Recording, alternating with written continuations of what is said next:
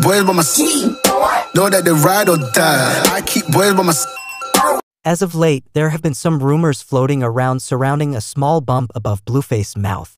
Of course, the rapper's reputation has led some social media users to believe that it could be a symptom of an STD. He, however, denies this, claiming that instead it's simply a keloid. In a new clip, the Thotiana performer is seen sitting on his couch chatting with fans on Instagram Live, addressing the rumors.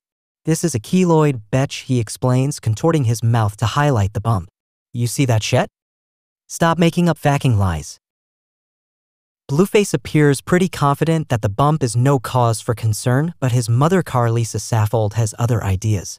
She took the opportunity to throw a bit of shade at the mother of her son's third child, Chrisean Rock, suggesting that she may actually be the one responsible. Yeah, Rock left us all with keloids, she responded to Blueface's claim, adding a laughing emoji. While it's unclear what exactly Saffold meant by her comment, fans are out in full force with their own theories.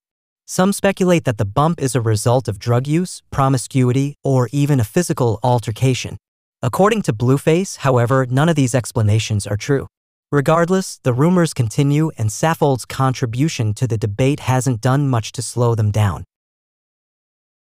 What do you think of Blueface taking to social media to clarify that the bump on his mouth is simply a keloid?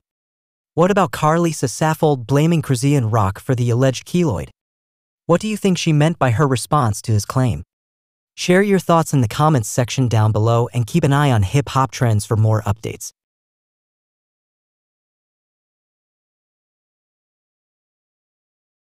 Keep boys by my side. Know that they ride or die. I keep boys by my side. Day we hustle, but the night we